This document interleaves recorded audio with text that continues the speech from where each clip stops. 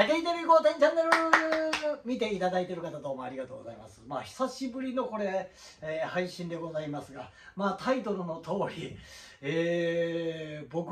あと5分遅かったら、こうやって喋ってません。えー死んでました。えーまああのタイトルの通り僕急性、えー心筋梗塞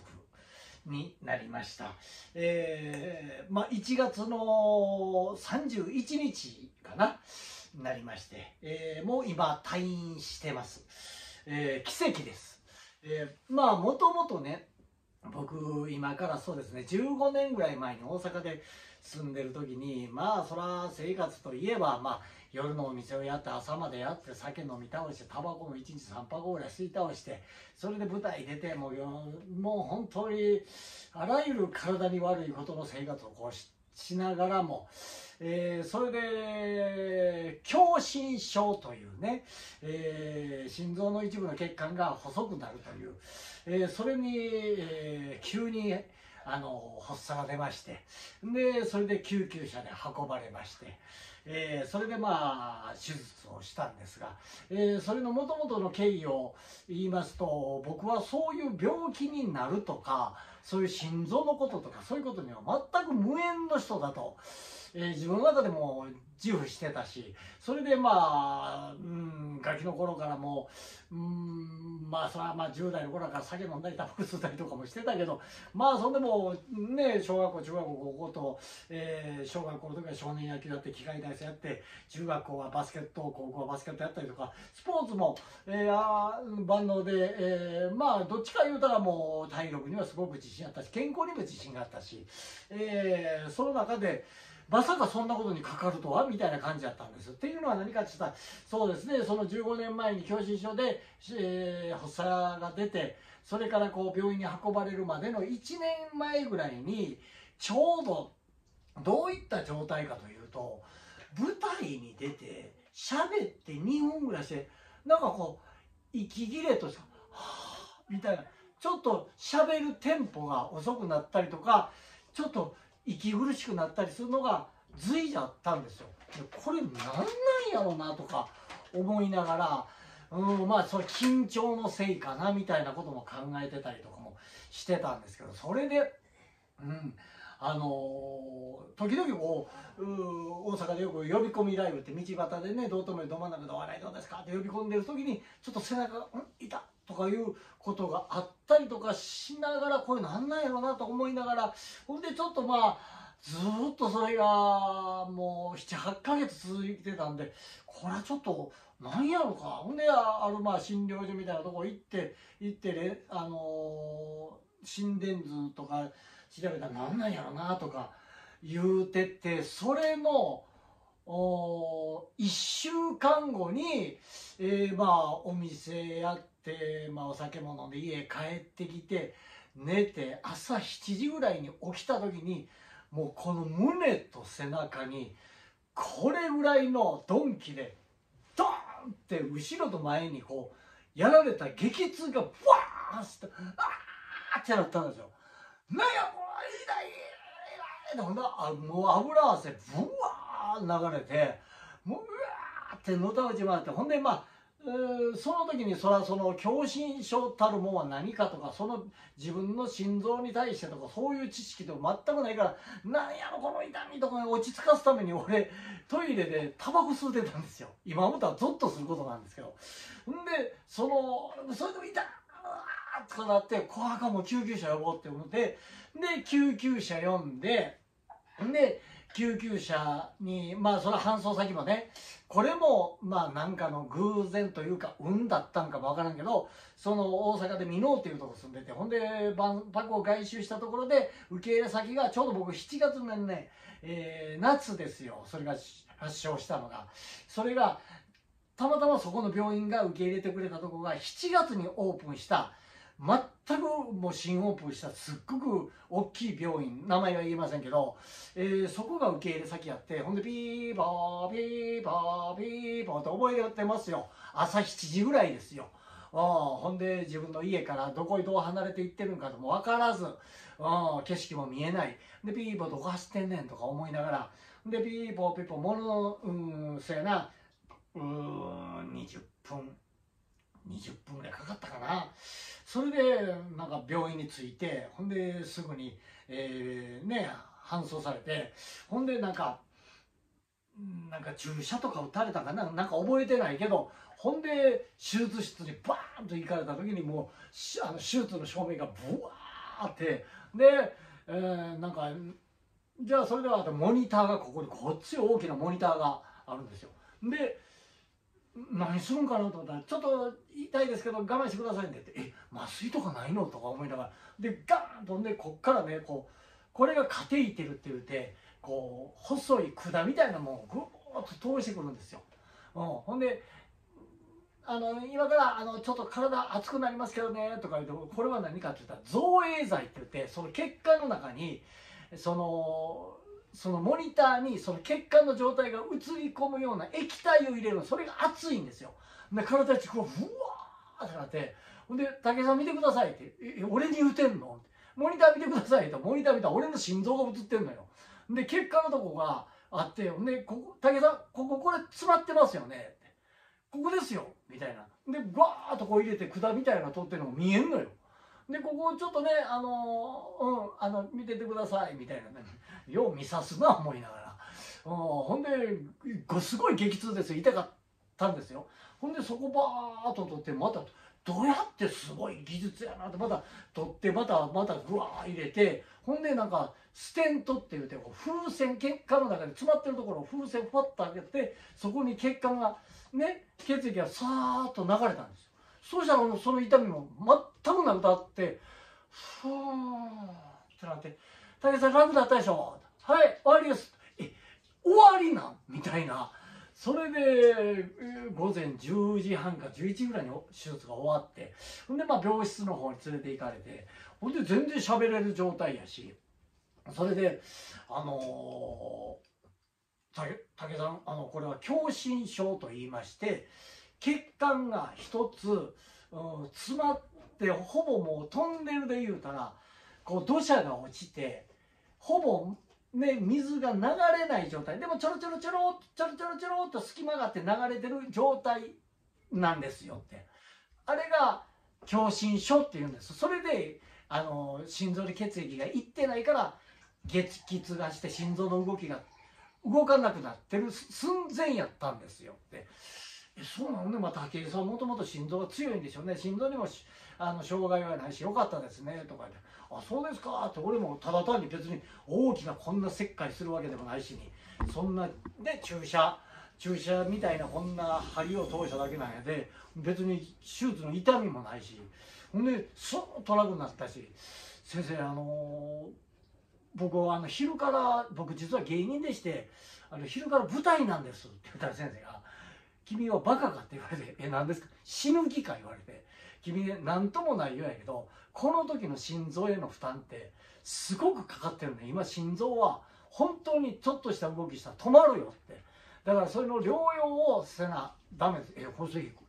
どれぐらいなんでまあまあ、うん、10日ぐらいみたいなんでそうですか？みたいなんで、うん、それでまあ入院しながらほんで俺それでもねいけないことですよ。俺病院でこそっとタバコ吸うてたぐらいやからそれぐらいもうタバコもやめられなかったしその病気に関してすごくねその治りもそんな一瞬にそのなんだったからすごく軽く思ってたのよ。で、まあ、そっから僕は医者に言われたのが血糖値が高いと。まあ、糖尿病に近いと。で血糖値が高いイコール血液がこうドロドロになっていくと。血液の流れが悪くなるから血管が詰まっていくんやと。だからそういう食生活とか、まあ、タバコなんか持ってのほかですと、えー、酒なんかも控えてくださいと。か言われて、えー、それでまあね毎日こう飲む薬を常用しながら定期検診でこう受けながら。ほんでまあまあそれまでずっと何もないまま何年か経って50手前の時に、えー、まあ東京行こうか。もう大阪のそんなお店とかそんなもほんで俺もこのままおったら体の状態を自分で見て俺も死ぬなって自分で感じてもう全てをやめようとこんな生活を。でもう芸人一本で行こうと。でまあ50手前で、えー、東京行こうと。で店も辞めて。で東京行く時にもうそれまでタバコなんかやめれなかったですからね。もう禁煙セラピーっていう3万7000円払ってそれで行って待ち時間が長すぎてタバコ3箱吸ってたぐらいやめれなかった。そんな俺がもう東京行くこときっかけでやめようと。で最後の1日前に出発する1日前に1箱買って1本だけ吸うて残り全部捨てたんですよ。そっから俺今も吸ってないんですよ。でそっから東京行ってまあいろんなことが芸人の中でまあまあまあこういろいろありましてでまあその住むとこ住むとこの近くの病院でそのこの狭心症の定期検診みたいなのを3ヶ月に1回お薬もらったりとかで注意を受けながらこうやってて何ともなかったんですがあれから15年。やな。うんうん。15年経った1月の31日にまあまああのー、確かにね僕この年末からこの年末うんそやな去年うんまあ母のことがあってうん実家でアルバイトして母のサポートしたりとかしてそういろんなことがあってそのストレスもあったし食生活も一人暮らしでそうやってたとこまで酒も飲んでたしそれの余韻でずっとこの年末年始までずっとやっぱちょっとお酒も飲み過ぎてたしいろんなことのストレスもあったしちょっと自分の中で無理してたなっていう自分の中でもあったんやけどでも別にこうそういう心臓に何かみたいなことは全くなかったし、うん、でも今覚えばここ1ヶ月ぐらい前僕アルバイトとかは自転車で通ってるんですよ。で自転車バーッと朝バーッと俺もね立ちこぎでブワーッと行くんですよ。もうもう遅いの家やからドケドケドケみたいなバイバイバイみたいな。ほんでちょっとした段差のとこカーンと前輪上げるんですよ。カンカンカンカーンみたいな。そんなんこう行ったりしてる時に一瞬こう肺がこう寒い風がふーっと入ってきたような胸がっていうっていうなんかあれ？俺ほんでその前にコロナにもなったしコロナの症状がこれとかの。えこれ肺が悪いんかなと。決して俺は狭心症のその症状じゃない狭心症って背中が痛いからから胸にバッとくるから全然背中とかないからほんですぐにシュッと治ることが何回かそういう症状が今思えばあったんですよ。それで1月の31日朝。その日は僕休みなんですよ。アルバイトも仕事も。で、まあ、嫁さんは「いろんな仕事行ってくるな」って言って「おお行ってこいや」言って。で9時ぐらいに、まあ、ちょっとトイレ行こうと思ってトイレ行って帰ってきた時に急に胸のとこが「イラッ!」ってなった。あれ？これあれ？自転車乗ってる時のああれか。ああああぐらいに思ってたら痛みが「えら!」っていう状態になったら「あっ!」ってなったけどえこれでも背中は痛ないんですよ。胸だけなんですよ。ほんでまた同じもうこれぐらいのドンキでドーンドーンってやられる痛みがドーンがあがんこれあがんあがんでも人間ってこういう時っていやそんなことないわ。ちょっと様子見ようとかって思ってしまうんですよ。ね、でもこっからです僕のこの、えー、なんで助かったかっていうのとそれと同じこういうねあの持病を持ってはる方とかそういう時の緊急の対処の時っていうのはどうすべきかっていうことを交えながら喋っていこうと思います。まずねドーンっていやーってなった時にあのまあさっきも言ったようにいやこれは違うとかあの収まるやろうとかいうなんかそっちのスイッチに入ってしまうけどでも俺ほんでね不思議なもんでこういうことって一瞬収まるんですよ。ほんでそれであほらちょっと横になっとこうみたいな感じの時に俺はあかん違う。これ今救急車呼ばなあかんってすぐにスイッチを入れ替えたんですよ。っていうのは何かって言ったらそれまでに僕はこうなった時のシミュレーションをずっとしてたんですよ。それ絶対皆さんもやっとくべき。まず一つは何かって言ったら家の中にねこういう固定電話を絶対に置いとくこと。ねまあ嫁さんにも言ってこれをつけといてくれと。で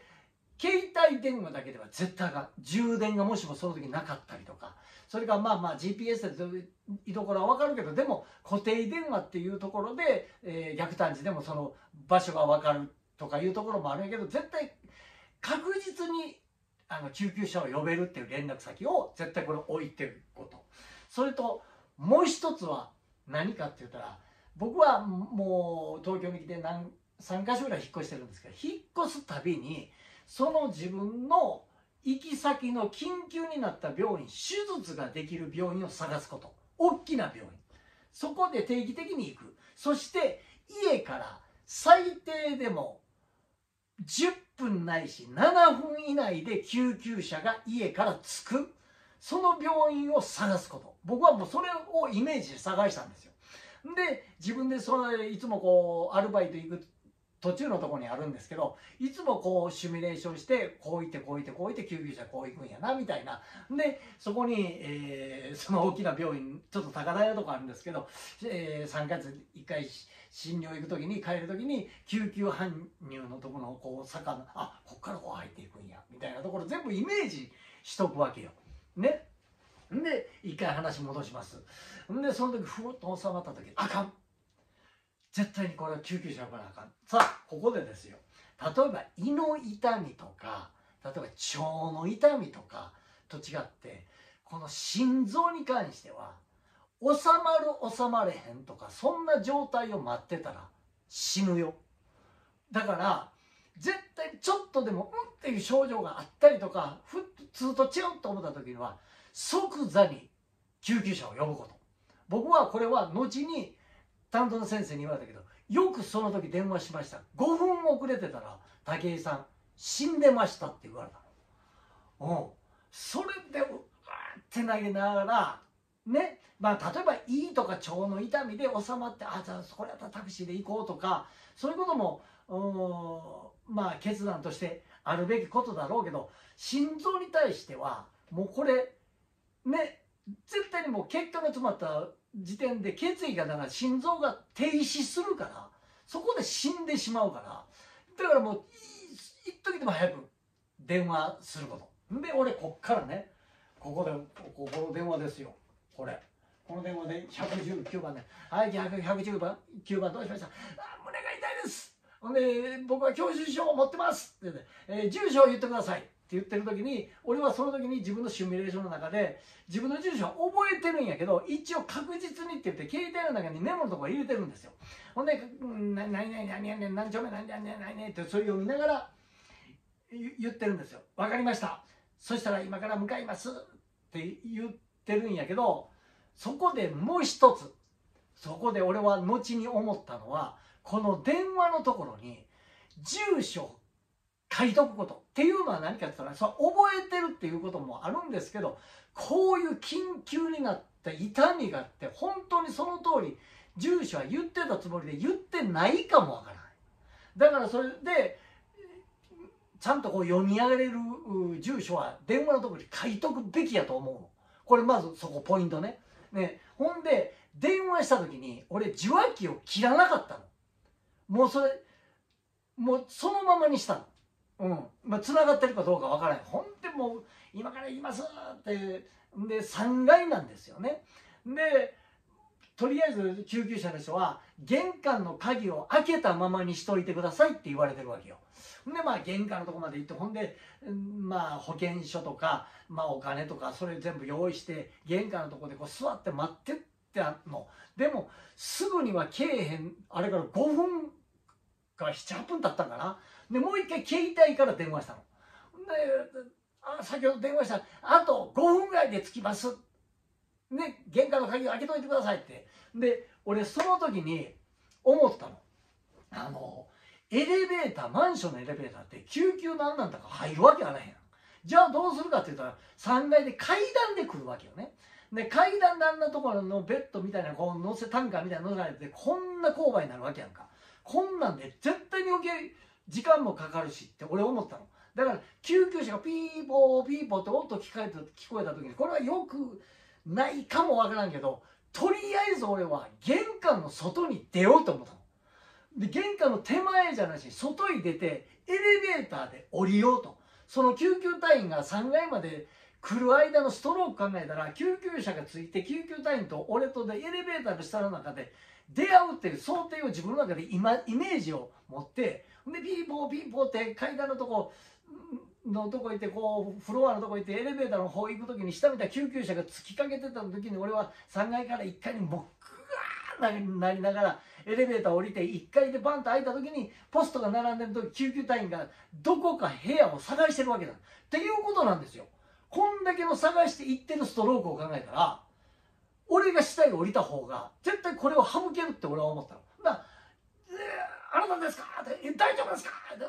ーってなってそんでそのベッドにあのあの担架みたいにバーン乗せられて救急車に乗せられて「ねえ名前と何々言ってください」ほんでその時俺どうしてたかって言ったら今度もう一つねいあの通院してるところとか緊急に行くあのね受診受診券ねね診察券俺それを口に加えたの口に加えて「ここです!」ってやって「あでどこそこと何々病院ですね」みたいなじゃあ、はよ連れてってくれと思ったけど、搬送先に連絡するんですよ。で、ね、血圧、血圧測ったりとか、はよ行けやと。で、あの、緊急先はどこありますか？みたいな。ああ、あります。で、携帯、ど、どれですか？携帯で、うん、俺の嫁さんのとこバーッと電話したの。な嫁さんも、な普段は出えへんねんけど、そんな。たまたま電話でバーンって、もしもしほんな救急隊員、あの、実は、武井さんがえーみたいなのだって本人じゃあ本人と変わりますか？ってほんで俺変わったんやけどもう喋れんと「ああみたいなのあってほんでまあ電話は切ってそのまま「フィーンじゃあ行きましょう」みたいな「フィーンフォンフィーンフォンフィーンフォン」って言ってるんやけどその時に自分の中でやっぱりねもうその半端じゃない痛みと息のそのパターンがもうとてもじゃないけど普段の息の呼吸の仕方じゃなくなってくるだんだんだんだん呼吸は速くなるし痛みがもう痛みとそれで意識が遠のいていくしでその時に言っときますけど救急隊員っていうのは医者じゃないから治療の施しはできないからだからその時に何かって言ったら自分が落ち着くことやっていうところに俺は自分の中で自分に言い聞かしたの。っていうのは何かってシミュレーションしてるから。っ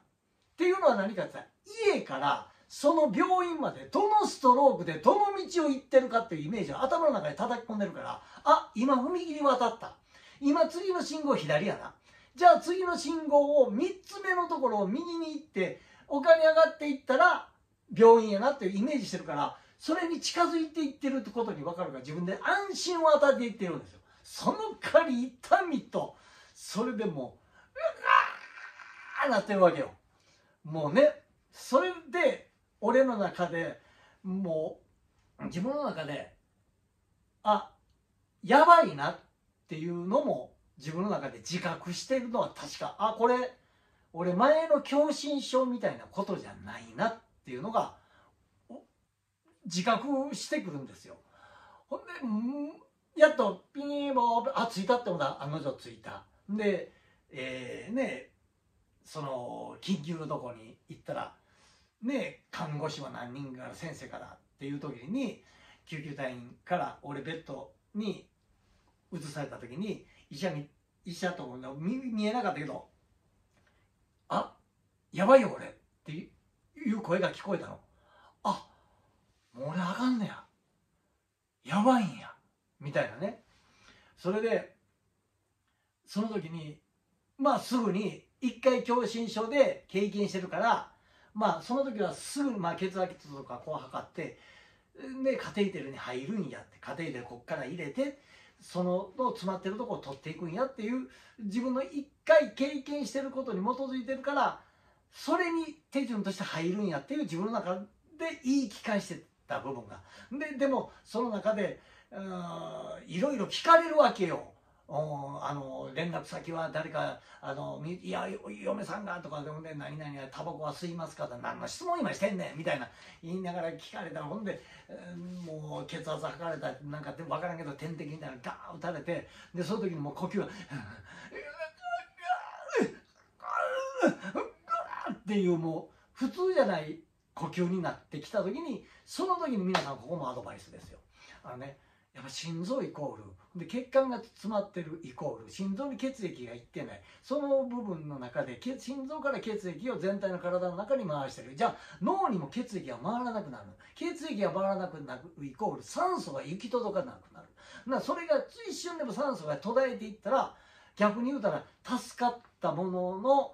脳に酸素がいて障害が起こるとかそこまで酸素が行き届いてないところで息絶えてしまうっていうところで俺は自分の呼吸に逆らったんですよ。あえて落ち着かした。うんうんうんうんうんうんうんうんうんっていう呼吸を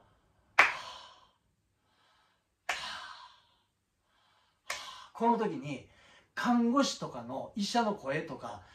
心電図のとか全部無音で聞こえなくなりました俺。自分の中で俺は芸人や舞台出る前の呼吸に変えたんです。これは俺は本当にそれが正解だったんか分からんけどすごくそれで自分の中でねなんかうんなんかそのあの世へ行く道を自分の中で遠回りさせていってるような感じに見えたの。自分の感じたの。ででもあかん。これ本当にもうこれで終わりなんやって。いや本当に思いましたよ、うん、であの医者が言うのは「武さんこれあの耳元で前のやつの詰まり方と違うんで」って言われて「ちょっとこれは」みたいなところを言われ「ああそうなんや」って。であのうん。あ死ぬ。死ぬってこういうことか。で意識も遠のいていくんですよ。初めてですよね。ああそうか。でも俺ねその時に本当にこれは自分でも予想のつかん感覚やったんやけど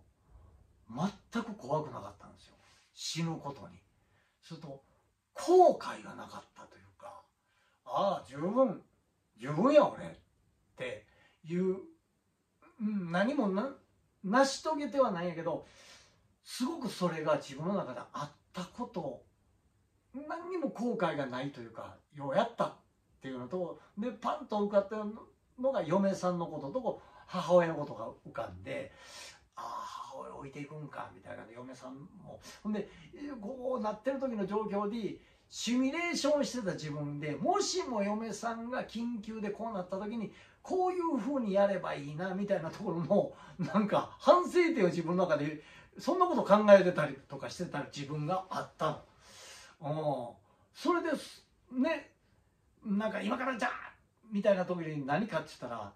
もう本当にあのチンチンのところに管をバーン入れるんですよ痛いんやけどそれが痛くよ身を感じないぐらいこっちが痛い。ブワーン入れられて「おいおいおいおいこれって入れられるもんか入れるもんちゃうんか」みたいなことを自分の中で言いながら。でもあれおかしいもんでガーッとそこで、まあ、尿がブワーンと出るんですよね。ああれも一つの、うん、対処なんだ痛みがちょっとこう軽減された部分があ錯覚なんかもわからんけどなんか全全てを全てこう出してしまって。ほんでいざ、まあ、手術室に行ったんですよ。なその時に15年前にいた狭心症の光景と全く同じなんですよ。でね、モニターがここにあってもう激痛がブワーして「武田さんでいきますよ」あカテーテルやってこれ。でこんなちっちゃな穴ですよ。これファーッと通していってで前の教師書みたいにあね、詰まってるところをこうしてるんででステントとか言うてるんですよ。でステントこうやって。でも痛みが収まらないんですよ。あの狭心症の時と違うんですよ。すごく時間かと収まらない。痛いし。あれ？でもまあ結構時間かかってはい収まりました。言うたらまあ痛みも収まってはい武井さんよかったですね。みたいなことで。ほんでまあ病室の方に連れて行かれて、I まあ、まあ ICU ですよね。んでその時に武井さんこれねあのすいません狭心症ですか？いや違いますと。それよりワンステージ上のすごく深刻な状態の急性心筋梗塞です。じゃあ心筋梗塞と狭心症の違いってどういうことですかって言ったら狭心症っていうのは血管がね詰まってくるんですよ。まあまあ血糖値が高い人は血液があのちょっとこう詰まりやすいドロドロみたいな状態でこのトンネルのところにこう砂みたいなのが積もっていくんですよ。ほんでこう血液が流れるとこが細くなっていくんですよ。ほんでだんだんもうそれが流れてるか流れてへんや分からんような状態がこれは狭心症だでも少しはちょっとは流れてるからえ心臓は動いてるんですよ。ただ僕が今回やったのは動脈3本のある動脈のところに狭心症の詰まり方じゃなしに全部が全部砂があってトンネルのところでバシッと蓋された状態でもう血液がいってない遮断された状態になってる状態やったんですよ武井さんって。でこれね急いでカテーテルでそこを取り除いて血液を流したからよかったんですけどこれ普通の普通の状態であればこれはよっぽど運がいいことでないと助からないです。よく武井さんで自分で電話しましたねと。でその距離が近かったし処置することが早かったから助かったんですって言われた時に武井さん本当にこれは普通の人だったらあの死んでましたと。うん。だから本当に運ですよこれはって。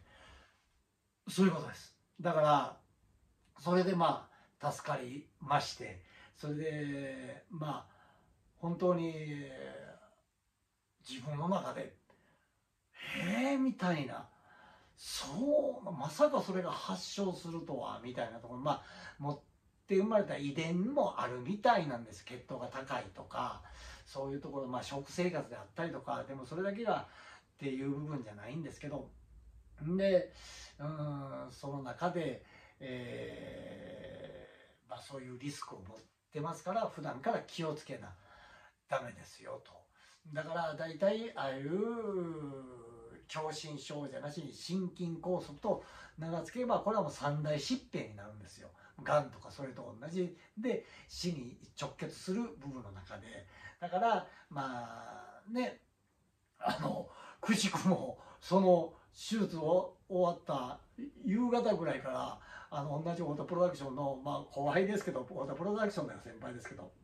すごく俺のこと気にかけてくれてた松村邦弘さんから 連絡が来て「いや今日はあの松竹の増田君と阪神タイガースのイベントだったよ」とか で LINE が来て めった半年ぶりに LINE が来たんだな。ほんで俺、まあまあこれはちょうど松村さんもあの東京国際マラソンで心臓が心筋梗塞になって死にかけたよ。その経験をしてるから松村さん実は今日僕高校で心筋梗塞でこうだってこう倒れてくしくもねなんか偶然にもあの松村さんがこれ LINE もらって僕もなんか、えー、なんか運命かなみたいなでちょっと僕の状況を知らせてもらいました。そうなんやそれ大変やなお互い体に鞭打ってみたいなそんなことのやり取りがあって、まあ、松村さんはねそれでまあ自分の体に鞭打ちながら今も頑張ってんねやみたいなこと言ってたり。それからまあ逆にまあねモノマネのマイケンさんなんかは新宿の街でねそれまで元気やったらスパゲティ食べて外に出て急にさ心筋梗塞になって激痛がしたらねその時に間に合わなくて死んでしまったっていうのも僕もその立場であったんですよ、えー、だから本当に、えー、うん。そういうことでありますか？同じ病気を持ってはる方とかもし持っているとそれと自分はそうじゃないだろうとかいうところの中で俺もそうでしたからその中であれ？僕ってちょっと鼓動が激しいなとかなんか背中が痛いなとかそんなことはすごく敏感になって医者にちゃんと見せるべきやと思う。うん。あのー、だからこそ本当に今回まあねこういう嫁さんといてる環境の中で生活こういう一人でこんなやもめでおったら、うん、助かってはなかっただろうし、えー、それと今の医学というかそのすごいなと思うわ。ね昔やったこのカテイテルっていうこういう技術がなかったからどうするかって言ったらここを切って心臓を出してほんでその血管詰まってるとこを切ってバイパスをつなぐという手術やったんですよ。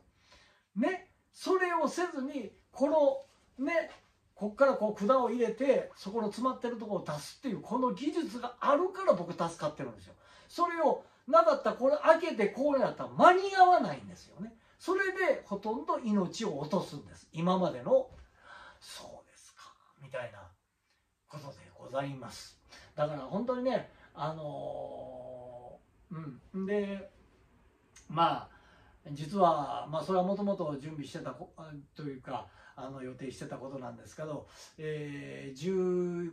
11日か。それと12日はそう11日は大阪で、えー、関西園芸協会の舞台が決まっておりまして12日は徳島の方でもちょっとイベントがありまして、えー、そういうのでちょっと仕事が入ってましてそれは準備してたんでそれも行かれへんのかなと思ったけど先生に相談したら「え舞台出はるんですか?」って「どれぐらいで10分ぐらいでしょ」ああそうですか」ってまあそれに行けるかどうかっていうのを、うん、あの退院する1日前にあのじゃあ調べさせてもらうっていうので心電図をバーつけてほんで、えー、その病院のところ周りを何周も何周もこう歩くのとそれとあの自転車あの本当の自転車あのジムにある自転車。あれでちょっと負荷をかけて20分間やってそれで血圧の状態とか心電図の状態を全部調べてあこれだったら大丈夫ですっていうクリア OK を出させていただいてそれでまああの退院ということでそれでまあ舞台行ってきます。だからそれを得ての舞台なんで、えー、もし大阪の方ももしよかったらね見てください。本当にね、えー、感謝しております。それと自分の中でこう死ぬってなった時に後悔がなかったというかそれはなんか自分の中でくっそまたこんなみたいなところがないところの生き方をいやいやいやあんた周りからしたらいやいっぱい効果あるやろ。何もなってないやんかっていうこともあるだけどあのあるだろうけど、あの僕の中で成功と失敗って終わりがないって思うんですよ。ただそこで止めたら終わりになるんですよね。だから成功と失敗が終わりがないって走り続けることなんですよね。だから走り続けることに自分が走ってきたことに対してどうであるかっていう時は本当に人間のその生死に関わった時に本当の自分っていうのが思ってることとかどうっていうところとか答えがこう分かったことに自分はああそやなと。もうまあ本当にご心配もおかけするだろうけど、まあ、自分は自分の中で人一倍心配したし人一倍準備もしてるしたださっきの人間でいつどうなるかがそのためにも、えー、自転車と一緒ですよ。自転車って走ってるから安定するんですよ、うん、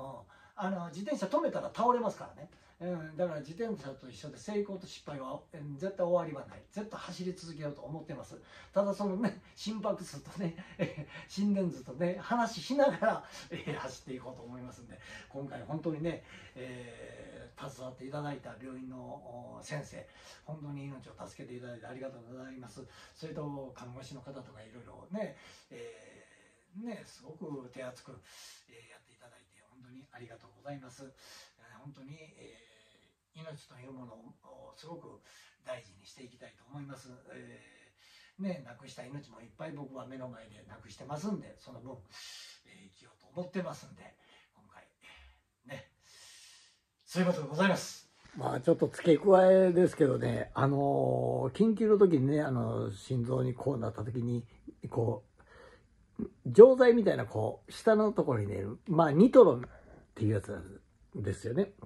それでこう、えー、血管をパンとこう広くして血液の流れを一瞬にして刺すっていう。それの中で僕はこう錠剤じゃなしにシュッと拭くやつ、それも僕は常時してたんですよ。んで、その、発作が起きた時に、その救急車呼ぶ前に僕それやったんですよ。それ全く効かなかったんですよ。っていうのは何かって言ったら、十何年前にもらったやつで、それ賞味期限切れてるんですよ。だから、あのー、そういう同じね、こういう持ってある方、それ一度確認してください。で、賞味期限切れてたら絶対に、あのー、担当の病院に行って、あの、新しく変えといてください。えー、これも一つのアドバイスです。それと、まあね、あの、母がね、あの、入ってる施設ですごくそこでケアマネの女の子がすごくよくしてくれるんですよ。で、この動画でこんなこと喋ってたよとかって、うちの母に言うてくれたりしてくれてるのはすごくありがたい。でも今日も見てくれてると思うんですよ。だから今日はね、一つお願いがある。母にね、このことは伝えとってください。お願いします。ね、心配するから。お願いします。